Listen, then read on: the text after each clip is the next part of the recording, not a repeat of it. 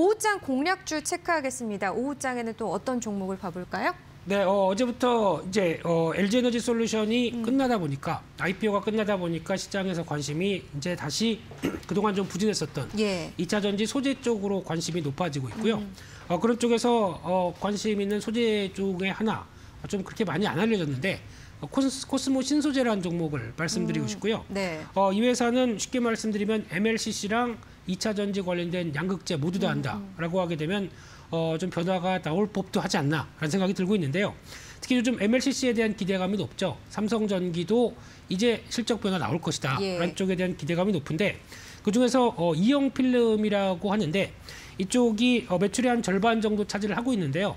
어, 특히 MLCC 제조 공정상에 필수로 들어가고 있다 보니까 MLCC가 어, 잘 나가게 되면 또 좋겠죠. 특히 삼성전기의 70%를 공급하다 보니까 삼성전기가 잘 나가면 우리도 좋습니다라고 표현할 수 있는 흐름들인데 특히 한때 어, 이쪽이 일본 업체들이 거의 다 어, 꽉 잡고 있었는데 국산화에 성공하다 보니까 여기서 이제 국내 유일의 양산하는 업체라는 쪽에서 부각을 다시 많이 받고 있다라고 하게 되면 실적에 대한 기대감이 조금 더 올라가지 않을까 생각이 들고 있고요. 어, 두 번째로는 어, 업계 최초로 이제 NCM 계열의 양극재 생산 공장을 설립했지만 좀 늦었죠.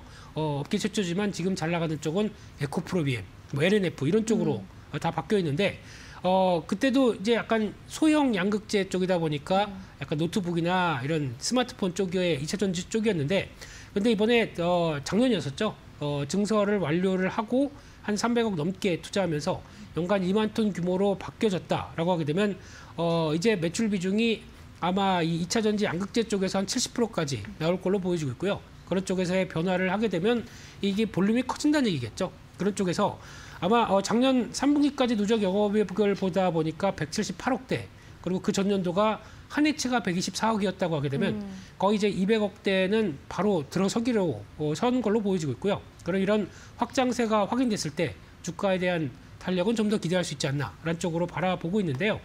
그러다 보니까 지금 코스모 신소재를 바라보면서 느끼는 점은 주봉의 패턴을 봤었을 때 어, 일단 하단은 막혀 있습니다. 예. 아무리 시장이 좀 부진해도 어느 정도 하단부만 오게 되면 바로 바로 올라오는 패턴을 보여줬을 때 지금 어, 한 또 그래도 강한 지지권은 한 4만 원대 정도는 괜찮겠다라는 쪽으로 바라보다 보니까 꾸준히 우, 우상향을 실적 확보 어, 상향과 함께 확보할 수 있겠다라고 바라보고 있고요. 그런 쪽에서 한 4만 4천 원대 초반 정도면은 일단은 접근해도 대바, 되지 않을까라고 바라보고 있고요.